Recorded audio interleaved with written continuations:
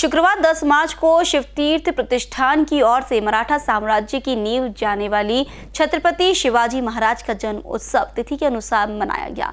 इस दौरान प्रमुख रूप से केंद्रीय मंत्री नितिन गडकरी ने दीप प्रज्वलित कर कार्यक्रम की शुरुआत की। छत्रपति शिवाजी महाराज ने अपनी अनुशासित सेना एवं संगठित प्रशासनिक जनता के माध्यम से एक योग्य एवं प्रगतिशील शासन खड़ा किया था। उन्हीं के पद चिन्हों पर चलते हुए आज की युवा पीढ़ी ने भी उनके विचारों को प्रतिसाद करना चाहिए।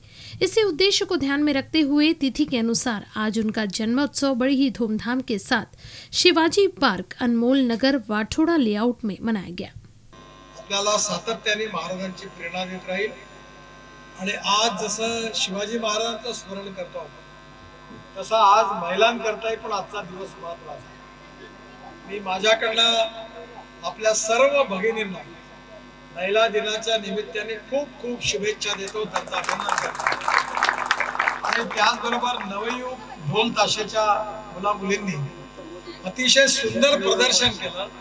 त्या सगळ्यांचंही मनापासून अभिनंदन करतो त्यांनाही शुभेच्छा देतो. आपण सगळेजण उन्हात या ठिकाणी उपस्थित राहिला.